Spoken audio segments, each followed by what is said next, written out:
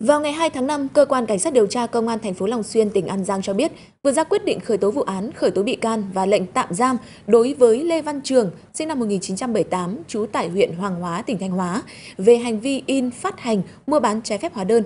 Các quyết định trên đã được Viện Kiểm sát Nhân dân cung cấp phê chuẩn.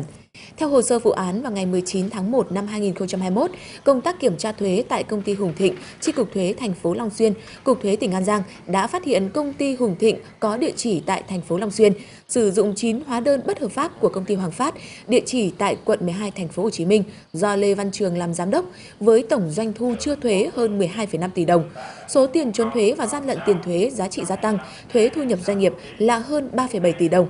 Hồ sơ kiến nghị khởi tố vụ án đã được chuyển đến cơ quan cảnh sát điều tra công an thành phố tỉnh An Giang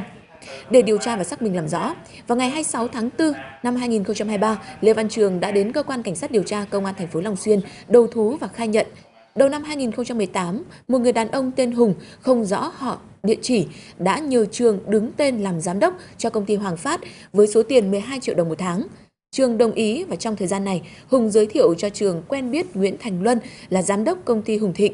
Theo yêu cầu của Hùng, Trường đã ký tên xuất khống 27 hóa đơn giá trị gia tăng của công ty Hoàng Phát cho công ty Hùng Thịnh đã có ghi nội dung nhưng thực tế không có diễn ra mua bán hàng hóa dịch vụ thể hiện trên hóa đơn.